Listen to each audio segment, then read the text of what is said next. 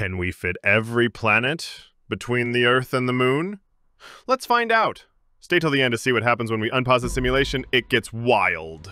All right, here's Earth and here's the Moon. The average distance between them is about 384,000 kilometers. That's more space than you might think.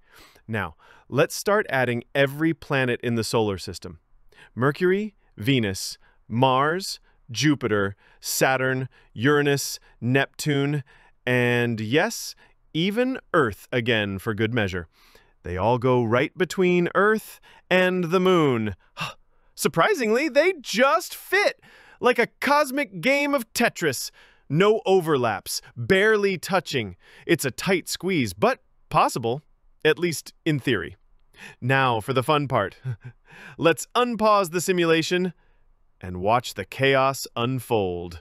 Instant mayhem. Oh, Jupiter starts swallowing everything like it's the final boss. Neptune and Uranus, they've just flown off into space like a cute couple on vacation. And just like that, the solar system is toast. But hey, we proved it. All the planets can fit between Earth and the Moon.